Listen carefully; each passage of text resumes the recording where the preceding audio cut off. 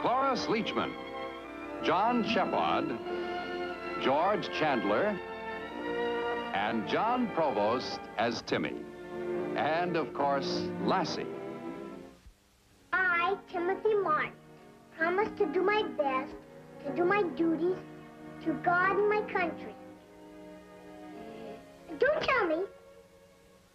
To God and my country, to be square and obey the law of the path. That's fine. I hope I remember it tonight. Well, don't you worry. I'll help you until you know it perfectly. But what if I forget? Everybody will be watching. The Cub Scout pack and the Cub Master. Oh, you won't forget. Besides, Scott will be saying it at the same time, so that'll help. What if he forgets it too? Oh, he won't forget. And neither will you. Well, where is he? Why doesn't he get here? We probably had some chores to do. I'll bet he's on his way right now. I wish you could come tonight, girl. Lassie will be waiting for you right outside, Timmy. That is the same as having her inside so she can watch. Timmy, we've been over that. I just don't like to do anything without Lassie. Well, she can't join the Cub Scouts. They won't even let her come to one of the meetings. Timmy, if you were allowed to bring Lassie, then all the boys would want to bring their dogs. Can you imagine what the meetings would be like if that happened? But Lassie's different. Yes, she is. At least we think so. But a rule is for everyone, Timmy. You know that. I just hope Lassie understands. Well, she's your friend and she trusts you. Don't you, girl? All right, let's do it once more. There's Scott. Why is so long? I had to stay home because we got company. These are my cousins from Chicago. Ralph and Bert. This is my best friend. His name is Timmy. Hi. Huh? Ow! You keep her away from us. She won't hurt you. She's protecting Timmy. I'm not afraid of her. I don't like dogs, that's all. My brother's not afraid of anything. You joining the scouts, too? Uh-huh. Big deal. We could have joined if we wanted to. Huh, Ralph? Who wants to? It's for babies. It is not. You have to be eight before you can join. You know how old I am. Tell him, Bert. I'm ten and he's twelve. So what do we want with that kid stuff? It isn't kid stuff. You get to learn a lot of important things.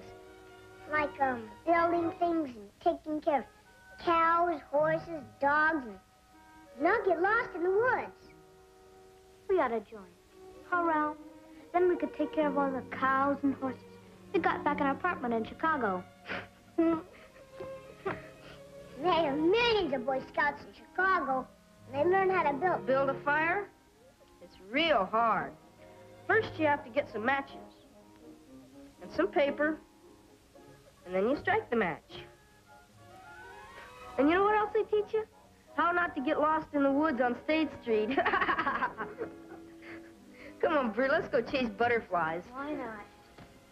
I can't practice, I promise. My mom says I have to entertain them. Okay. But you ought to teach them about the Boy Scouts while you're doing it.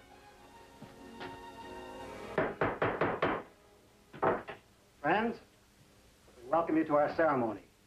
As you know, Cub Scouting includes the whole family.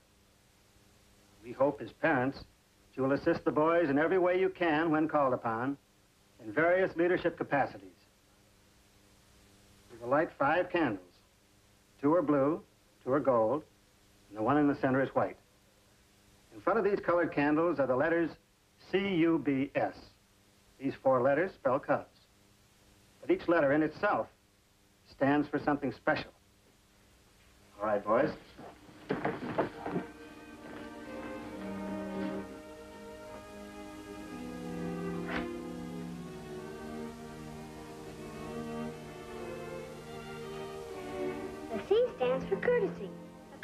Courteous. He is courteous to old people, his friends, his teachers, and especially to his parents.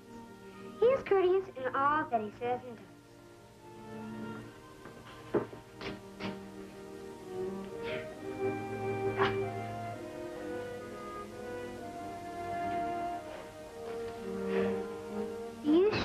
For unity. When a boy joins a pack, his parents join too. He does not. For unity. When a boy joins a pack, his parents join too. He does not work alone, but with other boys. He learns to get along with others.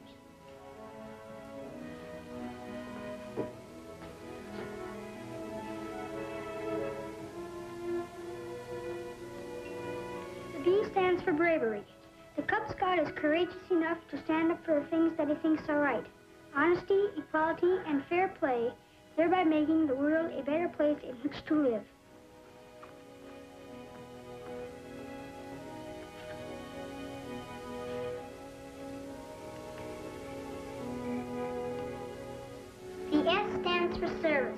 A boy not only does service for himself while he is a Cub Scout, but he also serves others. He strives to help spread goodwill in every way he can.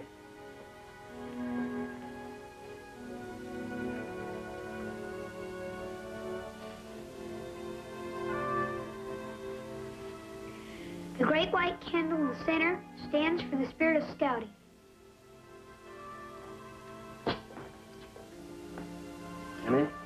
Scott. You've come here tonight seeking admission into the fun and friendship of Cub Scouting.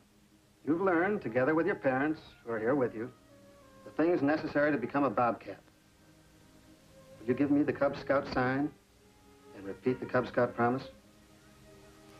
I, Scott Richards, promise to do my best, to do my duty, to guard my country, to be square and obey the law of the pack. Will the parents of these candidates please step forward and stand beside your sons?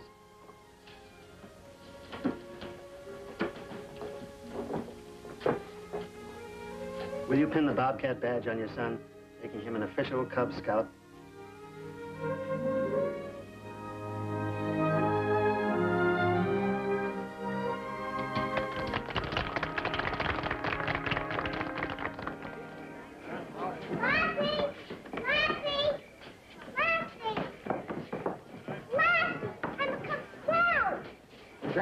Congratulations, Scout. Thanks, Uncle Petrie. Mighty proud of you, boy.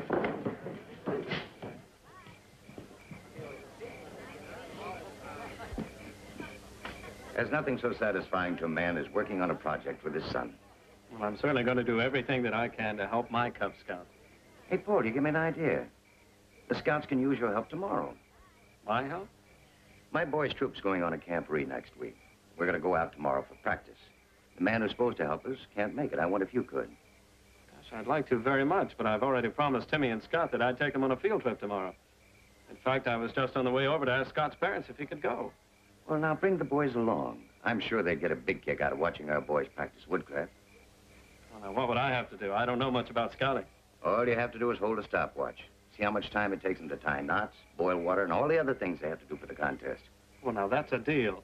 I'm sure I won't have any trouble in talking the boys into coming along. Well, good. Might as well tell them about it now. Where's Mom? Well, she'll be along in a minute, son.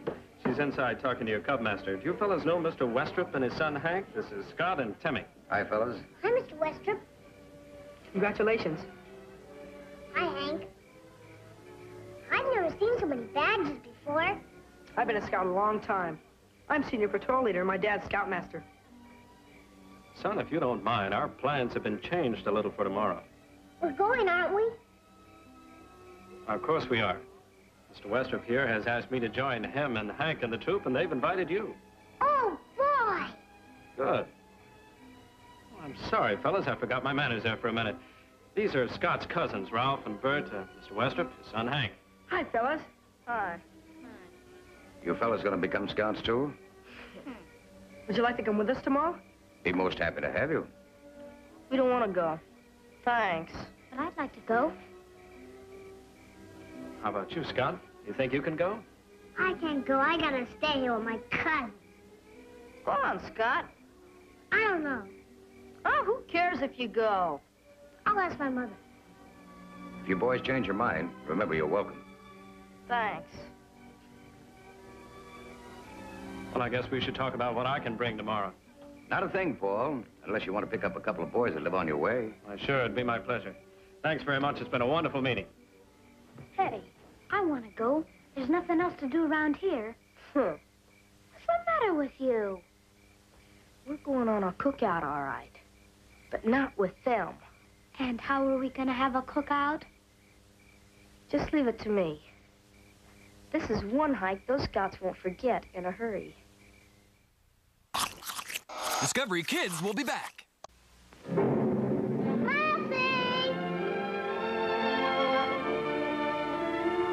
Marcy! Dad! That's our boy. Oh, gosh, he looks great. At your service, General.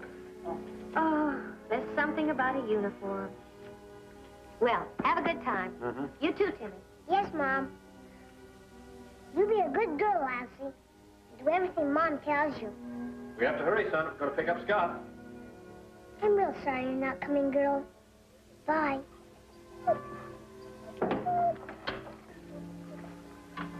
Have a good time. We will. Bye-bye. Bye.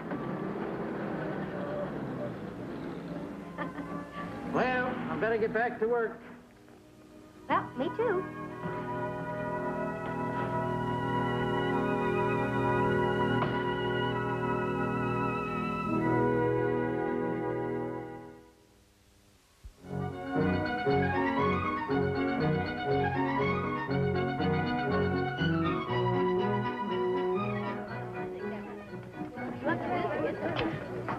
Hey, Jimmy, did you bring your harmonica?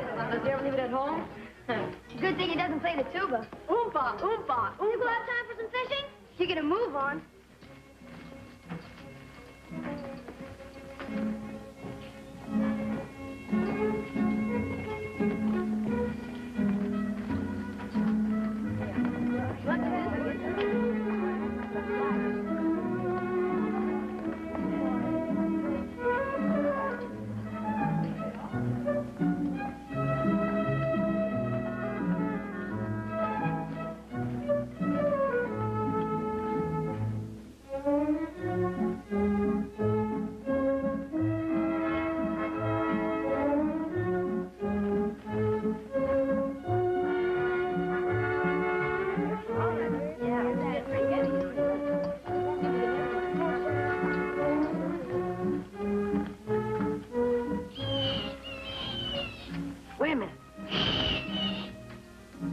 That's blue jay.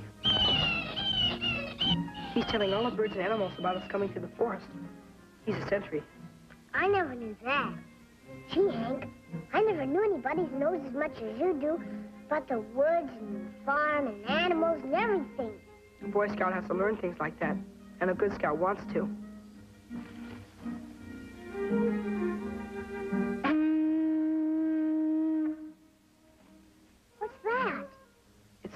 To be a moose.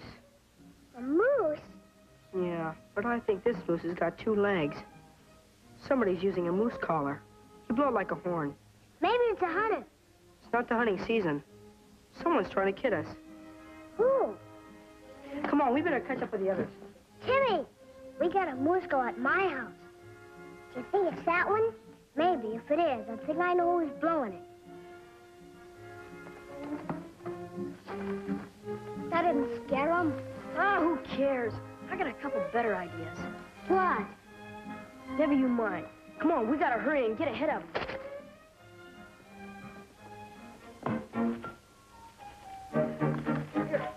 Oh, they'll be coming any minute. What do you want me to do? Take it and hide behind those bushes there. I'll hide behind that bush. Let them all walk by till Scott comes. Then we'll trip him and get that pretty uniform all dirty. Now, go on, they're coming.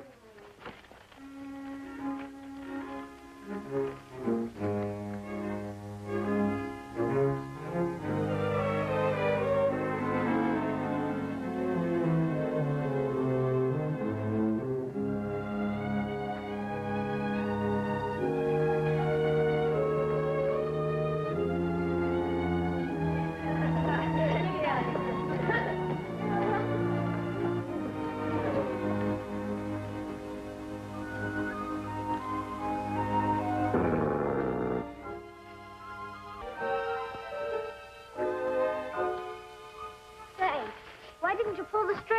Something growled at me.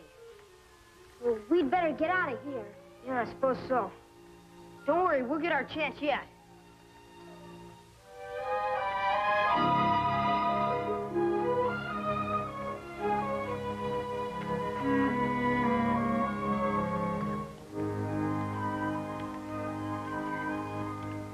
Gee, nice you're good, Scott. Uh-huh. Well, fellas, before the cleanup detail gets started, what say we have a song? Yeah! You lead them, huh?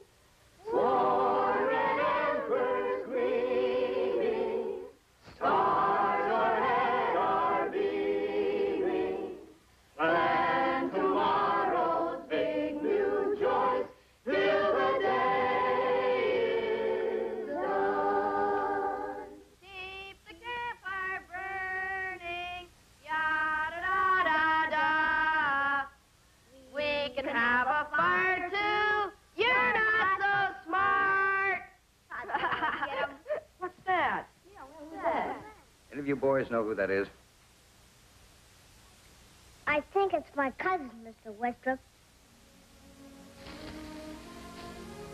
That's not a very good place for a fire. What say we invite him to join us? Hank, will you Sure, Dad. be sure to put out that fire? I'll go with him. Fine. All right, cleanup detail, let's get to work.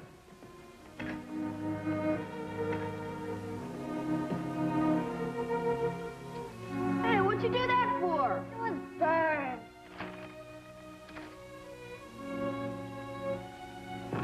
Fellas. How you doing? Okay. This isn't a very good place for a fire, you know. Why not? Too many dead leaves around. Why don't you guys come along and join us, huh? Don't want to. I'd like to have you. Sure we would. You were invited yesterday, remember? We're having a good time. Now, how about changing your minds? We'd rather stay here. All right. But I think you better put out that fire. We want a fire. We're not gonna put it out. Now, look, fellas, it's dangerous. If you don't want to put it out, then we'll have to do it for you. Hank, give me a hand here. Let's... Hey, cut that out! No! Sorry, guys, we don't like it any more than you do. But you have to know how to handle fires. And where to build them. Come on, Bert, let's go home. Sure you want to come with us? No, thanks. You did your good deed for today. You know your way back? Don't worry about us. Yeah, I think I did it. We'll join the others.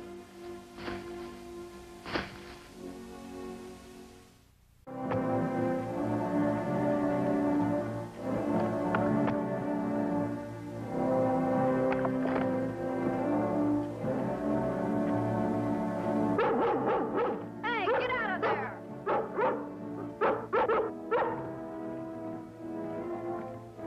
Say, that's.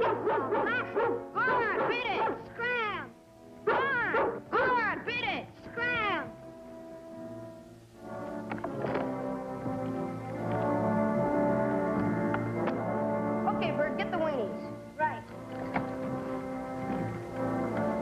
fellas, let's take one last look around. No cans, no papers, and the fire out. Let's have a real fire. All right.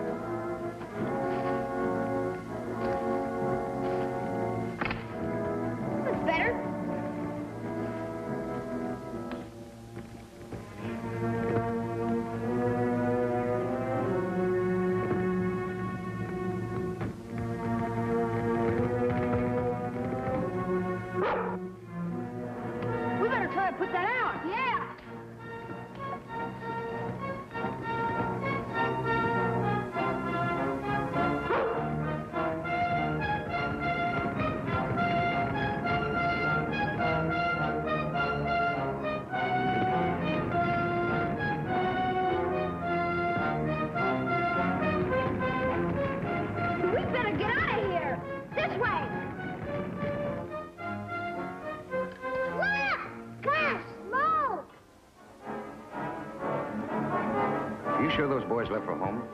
I wonder. We better have a look. Come on, boys.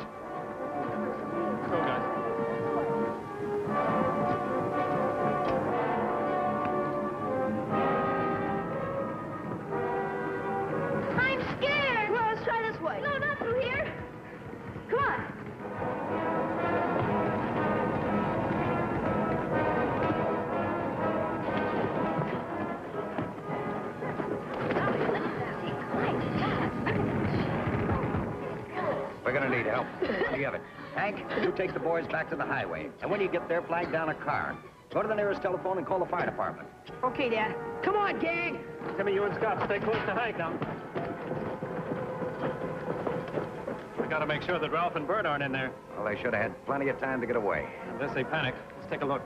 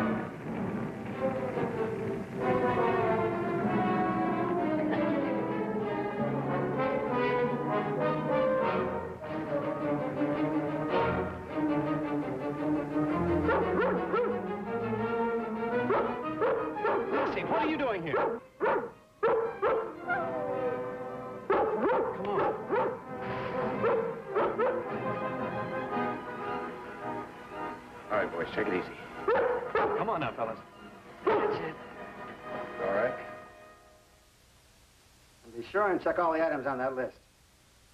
Mrs. Martin? And now, before we adjourn tonight's meeting, we have a special award for heroism you voted for. Timmy?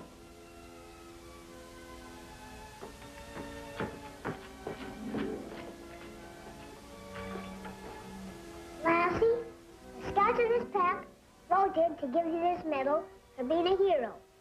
And hereby declare you to be their mascot.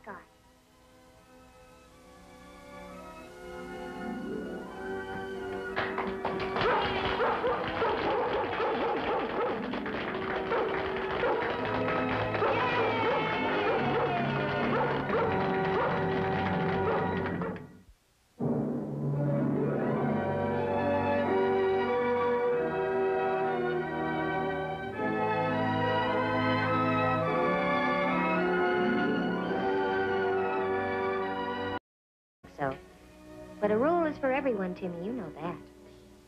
I just hope Lassie understands. Well, she's your friend and she trusts you. Don't you, girl? All right, let's do it once more. There's Scott. Why is so lo- I had to stay home because we got company. These are my cousins from Chicago. Ralph and Bert. This is my best friend. His name is Timmy. Hi. Ow! you keep her away from us. She won't hurt you. She's protecting Timmy. I'm not afraid of her. I don't like dogs, that's all. My brother's not afraid of anything. You joining the scouts, too? Uh-huh. Big deal. We could have joined if we wanted to. Huh, Ralph? Who wants to? It's for babies. It is not. You have to be eight before you can join. You know how old I am.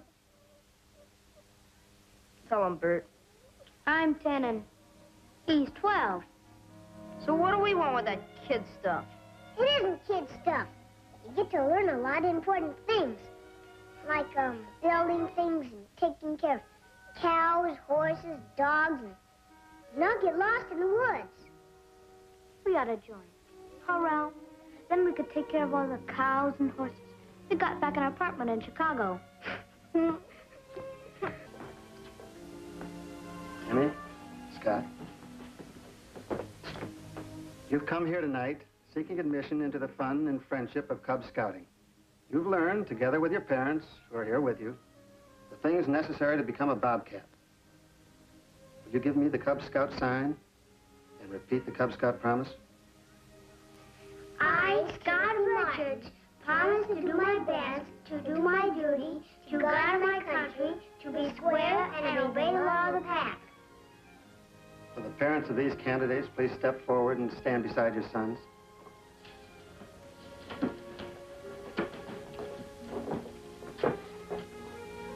Will you pin the Bobcat badge on your son, making him an official Cub Scout?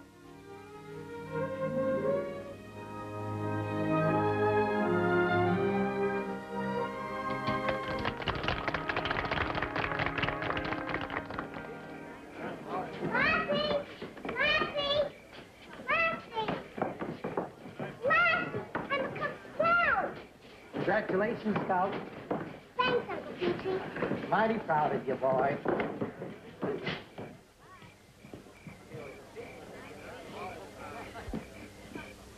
There's nothing so satisfying to a man as working on a project with his son. Well, I'm certainly going to do everything that I can to help my Cub Scouts. Hey, Paul, you give me an idea. The Scouts can use your help tomorrow. My help?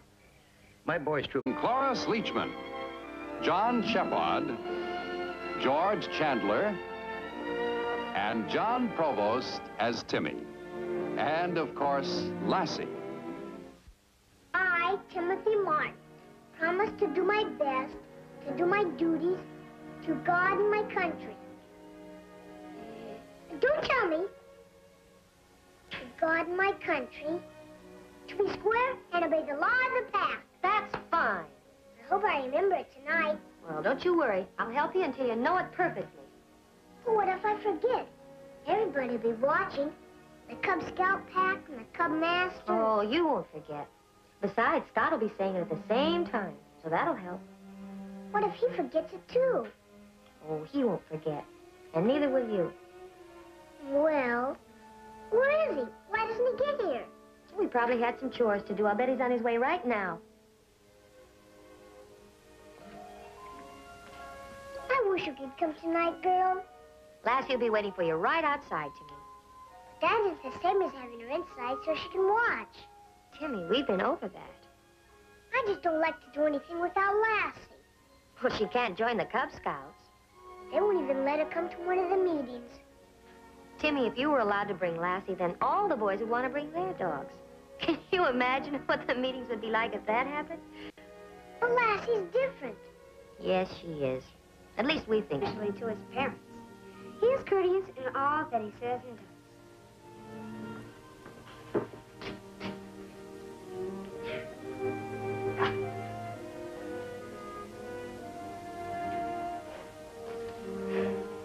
U stands for unity. When a boy joins a pack, his parents join too.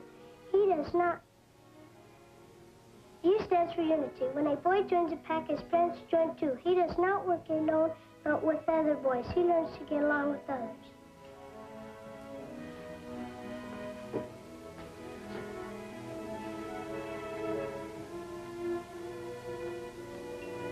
The B stands for bravery. The Cub Scout is courageous enough to stand up for the things that he thinks are right. Honesty, equality, and fair play, thereby making the world a better place in which to live.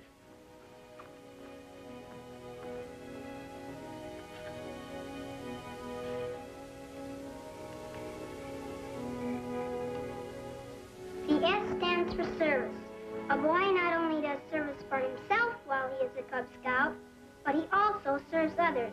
He strives to help spread goodwill in every way he can.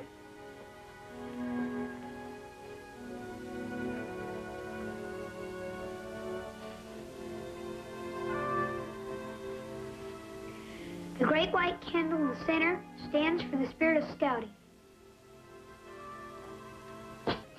There are millions of Boy Scouts in Chicago. They learn how to build. Build a fire? It's real hard. First, you have to get some matches and some paper, and then you strike the match. And you know what else they teach you? How not to get lost in the woods on State Street. Come on, Bert, let's go chase butterflies. Why not? I can't practice, I promise. My mom says I have to entertain them. Okay. But you ought to teach them about the Boy Scouts while you're doing it.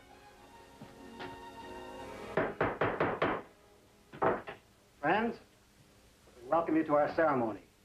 As you know, Cub Scouting includes the whole family.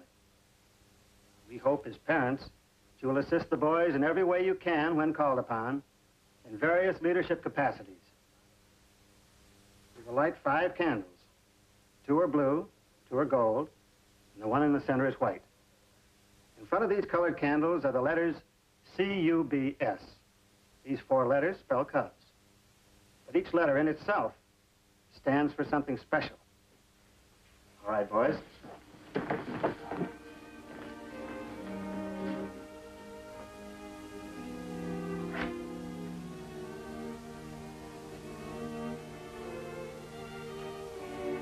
C stands for courtesy. A Cub Scout is courteous.